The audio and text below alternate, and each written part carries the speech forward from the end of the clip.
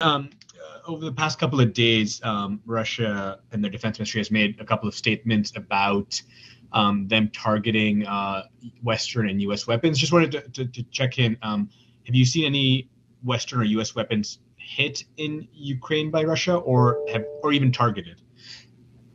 Seen uh, any? We have no indications that any Western uh, equipments, uh, equipment or, or shipments have been uh, have been hit or deterred uh, by uh, the Russians. Um, the strikes in Lviv.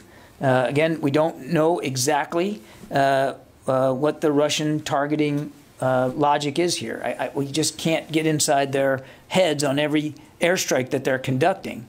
Um, but it is possible that the strikes they conducted in Lviv were were were, were meant to try to uh, affect uh, inventory levels of, uh, of material and weapons that the, that the Ukrainians uh, uh, may have had. But I've got no confirmation of that. I'm not, I don't, I can't say for sure that that was uh, what they were Uh, targeting, and we have no indication that any uh, weapons or systems that we were sending in or other countries were sending in uh, were, were hit or disrupted.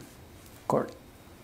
Uh, you actually kind of answered at the end there, but so you're saying that it's possible that the strikes in Lviv may it's possible that that's what they were trying to do, but it is it's an open question whether it was successful. We have no indication that there's been any impact. Is there any concern? I mean, it's it's pretty remarkable at this point that they haven't actually been able to stop or deter any of these weapon shipments that we've heard about, especially as they've been accelerating and there's you know half dozen or whatever that are going in a day or more.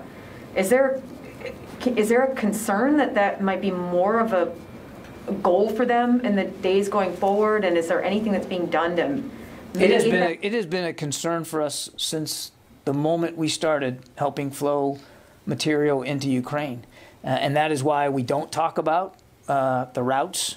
Uh, we don't talk even about the locations in the theater where um, the, the shipments are arriving, um, and it's why uh, uh, we're being very judicious about uh, about how material is getting into Ukraine because it's been a concern since the very very beginning.